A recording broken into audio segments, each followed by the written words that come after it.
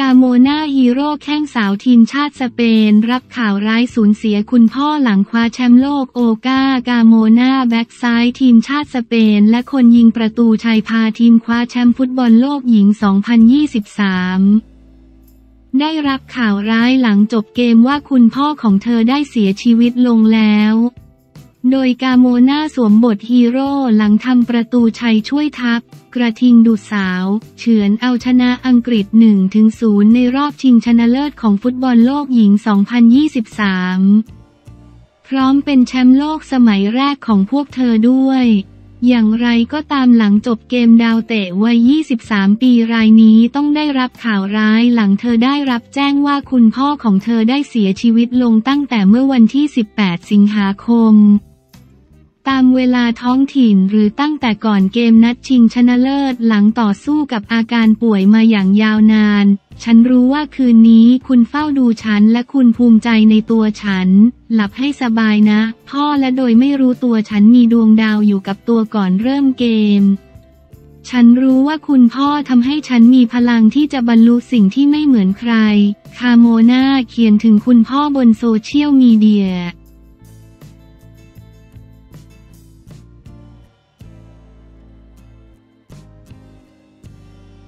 ค้อนเหลือสิบคน แต่ยังบดเชลซีศึกลอนดอนดาร์บีแมตช์ไคเซโดทำเสียจุดโทษเวสต์แฮมยูไนเต็ดเปิดบ้านเอาชนะเชลซีในศึกลอนดอน ดาร์บีแมตช์โดยเกมนี้มอยเซสไคเซโดแข้งค่าตัวแพงของทีมเยือน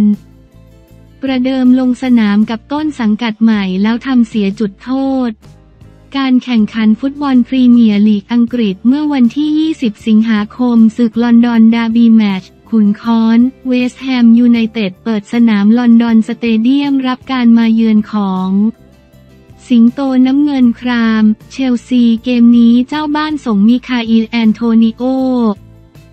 ลูคัส ปาเกตาจารอดโบเวนลงสนามขณะที่ทีมเยือนนำโดยนิโคลัส แจ็กสัน ราฮิมสเตอร์ลิง เอนโซเฟร์นันเดซ แถมยังใส่ชื่อกองกลางค่าตัวแพงอย่าง มอยเซสไคเซโดไว้เป็นตัวสำรองด้วยเริ่มเกมมาเพียง 5 นาทีเวสต์แฮมได้เตะมุมฝั่งขวาเจมส์วอร์ดพราวส์เปิดเข้ากลางแล้วเกิดจังหวะแย่งโหม่งกัน กลายเป็นว่าบอลตกมาหน้าประตูแล้ว จารอดโบเวนกระโดดวอลเล่หวังยิงประตูโรเบิร์ตซานเชส ยังไวบล็อกทันหวุดหวิดนาทีเจ็ดเจมส์วอร์ดพราวส์ทำหน้าที่เตะมุมฝั่งขวาให้เวสต์แฮมอีกครั้ง คราวนี้ลอยไปเสาสองเข้าทางนาเยฟ อาแกร์ดขึ้นโขกเสียบตาข่ายเจ้าบ้านนำหนึ่งถึงศูนย์นาที 28 แนวรับเวสต์แฮมสกัดบอลมาเข้าทาง คาร์นีย์ชูคูเมการับได้บริเวณด้านซ้ายของเขตโทษ ก่อนที่ชูคูเมกาจะโชว์ลีลาโยกหลอกคู่แข่งพาบอลตัดเข้ากลาง จากนั้นยิงเสียบตาข่ายอย่างเด็ดขาด เชลซีตีเสมอ1ถึง1นาที 37 เวสต์แฮมเกือบขึ้นนำอีกครั้งแนวรับเชลซีโหม่งสกัดบอลลอยมาบริเวณเส้นหน้าเขตโทษ ลูคัส ปาเกต้าเก็บได้แล้วล็อกหนีคู่แข่งหนึ่งจังหวะก่อนล้มตัวยิง บอลกลิ้งผ่านมือนายทวารไปชนเสา นาที 42 ราฮีมสเตอร์ลิงเลี้ยงพาบอลตะลุยไปสู่เขตโทษแล้วถูก โตมัสซูเช็คเสียบล้มลงผู้ตัดสินให้จุดโทษเชลซีเอนโซเฟร์นันเดซรับหน้าที่สังหารแต่ไม่เฉียบคมพอ อัลฟงส์อาเรโอลาพุ่งเซฟไว้ได้จบครึ่งแรกเสมอกัน1ถึง1ครึ่งหลังนาที 53 เวสต์แฮมเป็นฝ่ายชนะการแย่งบอลบริเวณกลางสนาม ก่อนจะเป็นเจมส์วอร์ดพราวส์หวดขึ้นหน้าให้มิคาอิลแอนโทนิโอ รับได้แล้วเลี้ยงมาถึงพื้นที่เขตโทษ จากนั้นสับไกยิงเสียบตาข่ายอย่างเฉียบคม เจ้าบ้านนำ2ถึง1นาที 61 เชลซีตัดสินใจส่งมอยเซสไคเซโดประเดิมสนามกับต้นสังกัดใหม่แมตช์แรก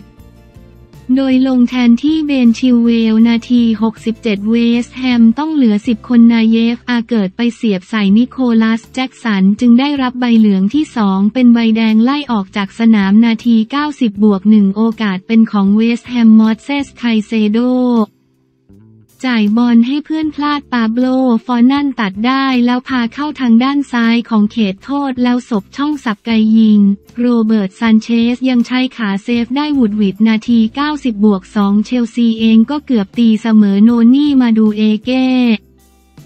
ได้สับไกจากบริเวณหน้าเขตโทษโตมัส ซูเช็คเหยียดขาหวังสกัด แล้วบอลเปลี่ยนทางทำท่าจะเสียบเสา อัลฟงส์ อาเรโอลาซูเปอร์เซฟพุ่งตัวปัดทิ้งได้อย่างยอดเยี่ยม นาที 90 บวก 4 เอเมอร์สันพัลมิเอรี่หลุดเข้าเขตโทษแล้วโดน มอยเซสไคเซโดเสียบล้มลงผู้ตัดสินจึงเป่าให้จุดโทษเวสต์แฮม ลูคัส ปาเกตาสังหารเข้าไปนิ่มๆทำให้เวสต์แฮมชนะ 3-1 ผ่านไป 2 นัดเท่ากันเวสต์แฮมเก็บเพิ่มเป็น 4 คะแนนอยู่อันดับ 6 ส่วนเชลซียังไม่ชนะใคร มีอยู่หนึ่งคะแนน รั้งอันดับ 14 อีกคู่ในวันเดียวกันแอสตัน วิลล่าชนะเอฟเวอร์ตัน 4-0 เจ้าบ้านได้ประตูจากจอห์นแม็กกินน์ นาที 18ดักกลาส หลุย นาที 24 ลีออน เบลีย์ นาที 51 จอห์นดูราน นาที 75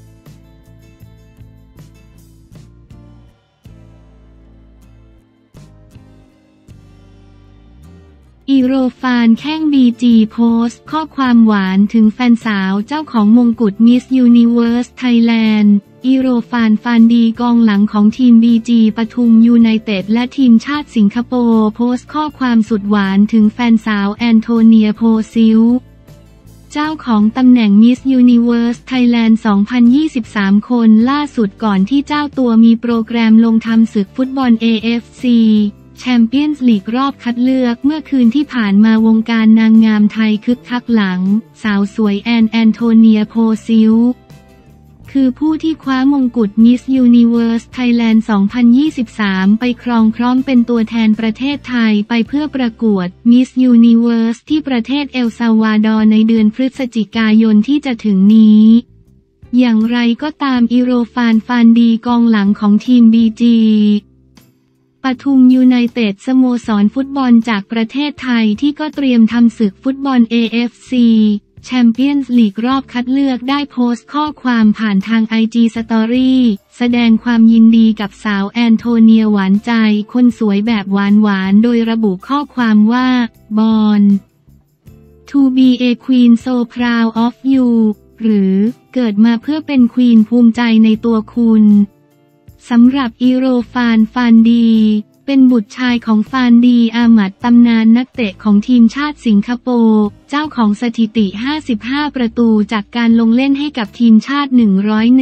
101นัดรวมถึงเป็นนักเตะชาวสิงคโปร์คนแรกที่ไปค้าแข่งกับทีมในประเทศเนเธอร์แลนด์อย่าง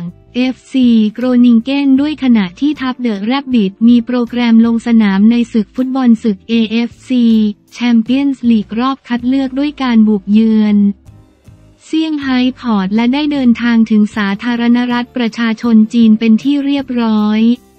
ก่อนลงสนามในวันที่ 22 สิงหาคมนี้